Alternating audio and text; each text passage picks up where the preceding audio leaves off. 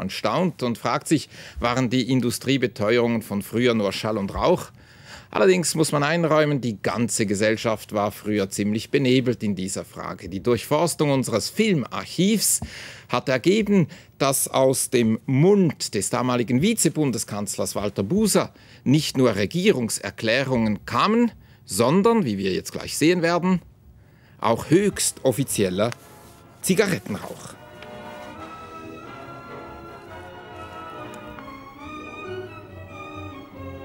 Das in Sachen Regierung, aber das ganze Bundeshaus war eine einzige große Raucherecke. Bei Kommissionssitzungen, Sie werden es gleich sehen, verschwand der Kronleuchter regelmäßig fast im blauen Dunst. Hier berät die Kommission 1966 den nebulösen Mirage-Skandal. Kurt Vogler, Kommissionspräsident und späterer Bundesrat, scheint noch der einzige Klarsichtige und Mann mit gesunden Prinzipien hier zu sein. Doch zugegeben, beim Schweizer Fernsehen war es eher noch schlimmer. Hier die tägliche Redaktionssitzung der Tagesschau in den frühen 70er Jahren.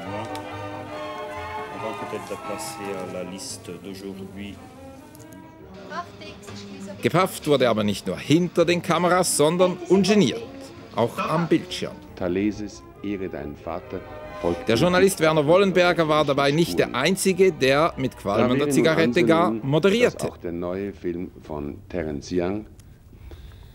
Man erinnert sich, 1962 gelang dem FBI ein besonderer Fang.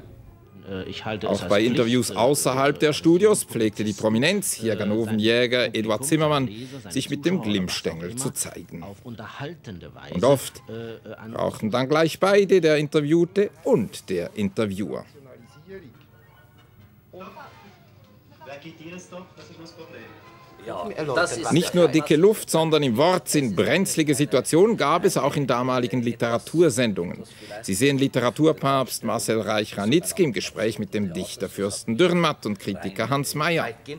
Die Diskussion im Zigarrennebel nimmt so hitzige Formen an, dass es Dürrenmatt mit seinem Streichholz fast gelingt, einen Studiobrand zu verursachen. Beachten Sie den Aschenbecher in der Mitte des Tischchens. Was äh, Allgemeingültigkeit. wir eigentlich über Nero beim Brande Roms reden? Ja, das wird einen schönen Brand hier ergeben. Das, gibt das Ding kann Brand. hier platzen. Nein, ich, oh, würde, ich würde nichts ja. machen. Ja, na, das Sehen Sie, Herr Dürrenmatt, ich habe Sie enttäuscht. Also diese Panne wäre ungefähr bewältigt. Bis demnächst hoffentlich bei Film heute.